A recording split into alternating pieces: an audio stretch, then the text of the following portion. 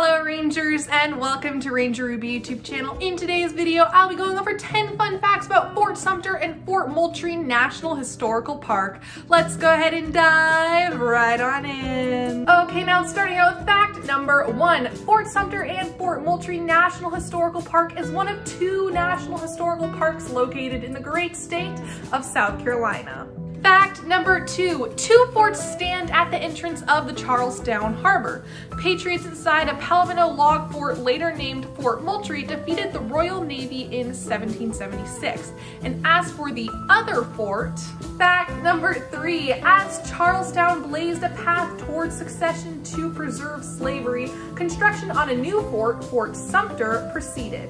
The Confederacy fired on the U.S. garrison of Fort Sumter on April 12, 1861, opening the Civil War, which redefined American freedom. Fact number four, because Fort Sumter is located on an island, tour boats to Fort Sumter are provided by Fort Sumter Tours, the authorized concessionaire of Fort Sumter National Monument. Fact number five, a Confederate 8-inch mortar commanded by Captain George S. James fired the first shot of the American Civil War from Fort Johnson on James Island at Fort Sumter, Union garrison at 4.30 a.m. on April 12, 1861. Fact number six, the National Historical Park doesn't just include these two forts. Today, it has become second nature for sailors in distress to call the Coast Guard. However, help at sea was historically not readily available. The United States Life-Saving Service, or USLSS, was conceived out of a dire need for life-saving networks.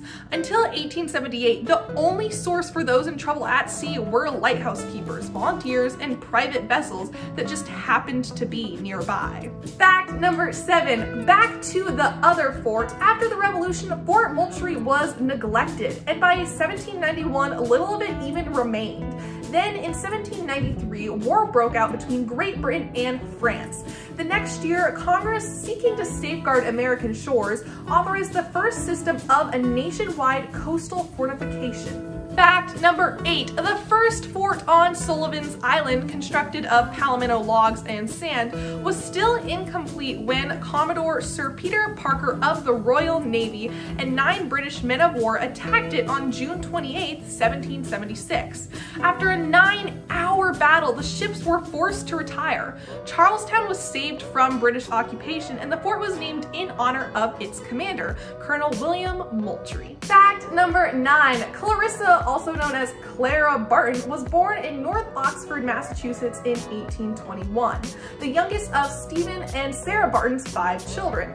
Clara would soon become a world-famous Civil War nurse, humanitarian, and founder of the American Red Cross. In 1863, Barton traveled to the Union-controlled Sea Islands of South Charleston, South Carolina.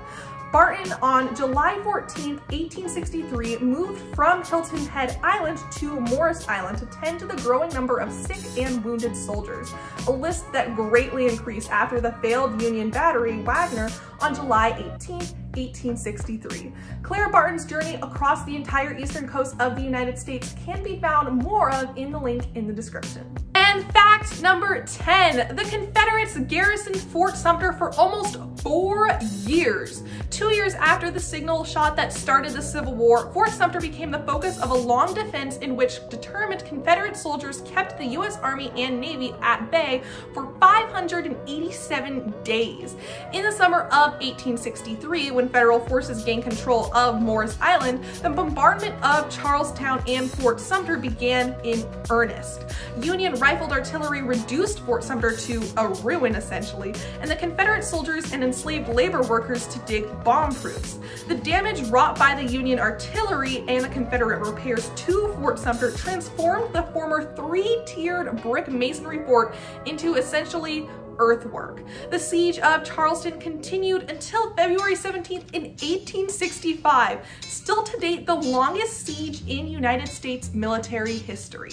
Well everybody, that's the end in today's video. I hope you enjoyed it. If you did, please be sure to give this video a huge thumbs up and comment down below with your thoughts. I'd love to hear from you. Also be sure to click that red subscribe button and the little bell next to it to always know when I post new videos. Thank you so much for watching again and I shall see you next video. Bye!